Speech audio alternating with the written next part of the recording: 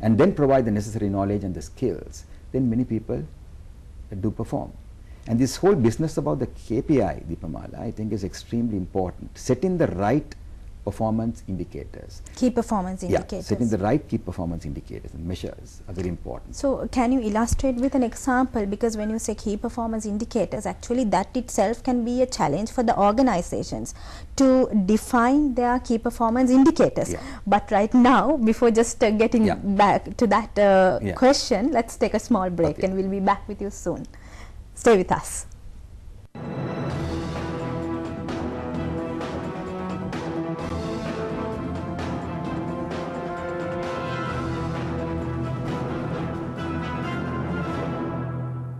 National event to recognize the efforts and performance of sales personnel in Sri Lanka, NASCO 2010. National Sales Congress being organized by Sri Lanka Institute of Marketing for the 11th consecutive year at 6:30 p.m. on Friday, 26th March 2010 at Main Ballroom Hotel Galadari. Media sponsor ITN and Prime TV.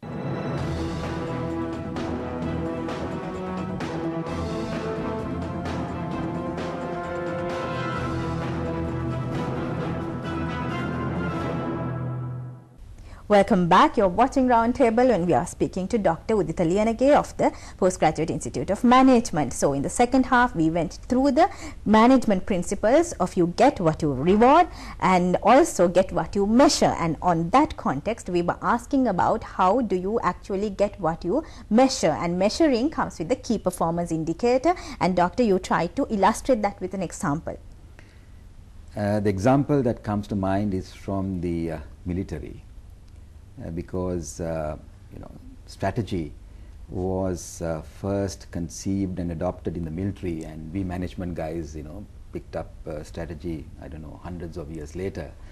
So I attempted to uh, study the uh, success story of the uh, Sri Lanka military the army in particular and uh, looked at some of the strategies that helped us to uh, you know finish this war and uh, one of the key success factors was the ability of the army, the military, to fix uh, strategic KPIs, key performance indicators. KPIs that went to the very heart of the strategy, right? So when you, when you fix key performance indicators, they must go to the very heart, to the very center of your whole uh, strategic approach. Now for a good 20, 25 years, the army had one KPI at the end of a um, military, uh, what do you call it, a campaign or military um, program of action, Operation, yeah. operation, yeah, operation. Uh, how, do, how do you measure success of a particular operation? They had one central KPI, and that was how many kilometers have you captured? Right, it's about land. How many kilometers have you captured? Now, perhaps this KPI made sense because the larger purpose, the larger role and the strategy of the army was to weaken the LTT, right, so that they may come to the negotiating table, right. So, if your larger strategy is to weaken the enemy, uh, LTT in this case, then you know capturing land uh, perhaps made sense.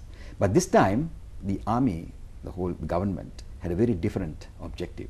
It was not about weakening the LTT, but about eliminating the LTT. Now, given that larger overarching strategy, they had a very different KPI this time around. It was not about land, but it was about kill. How many LTT cadres have you got? Right. And that is the one question that was posed at the end of each operation. Right. And the point I'm trying to highlight is that in, in fixing KPIs, there's no point having dozens of key performance indicators. And sometimes many organizations do this. You know, they have their monthly reviews and they have dozens of KPIs and they, you know, agonize over the, you know, performance of organize, of the various people, individuals, vis-a-vis the, the KPIs, variety of KPIs. But I think the real challenge is to isolate maybe one, two, perhaps three critical KPIs. And you know that if you get those KPIs, if you achieve those KPIs, you're doing well, right? I've, I've heard the story about uh, a super um, excellent, brilliant uh, CEO, right, who always had a clean table. And he was managing a large organization. And with respect to a particular division, he knew this is the one KPI I need to check. right? If this particular department is okay with respect to this particular KPI, I don't have to worry too much about the rest, right? So can you find these levers, these critical KPIs, and if you can keep, if you keep measuring these KPIs and ensure that those KPIs are met, then you got an organization that's thriving. So you also look at look at the context, then define the objective, and accordingly set the KPI. Exactly. The, the, the connection, the nexus between your large objective and the KPI. There's no point, I mean, if you take the financial measures, for example, you have profit and loss account, a balance sheet, you know, you have those, all these number of KPIs. But most of those KPIs are actually consequences or effects, and you can't actually control consequences. So you've got to look at drivers, the key things that will result in things. You know, so if you identify your KPIs in terms of key drivers, like the uh, example that I cited, and keep, you know, focusing on those driver KPIs, not the outcomes, not the Right.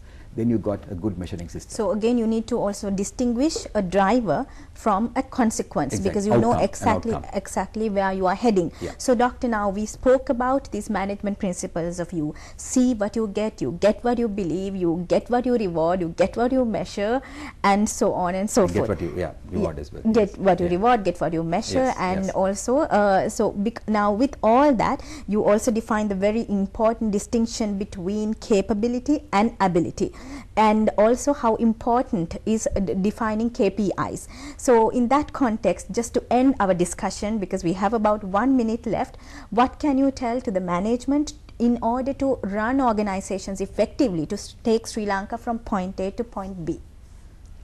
Uh, it's very difficult to answer that question in one minute, but, but what, I, what I could say is that uh, figure out that one thing that you want to achieve for the organization.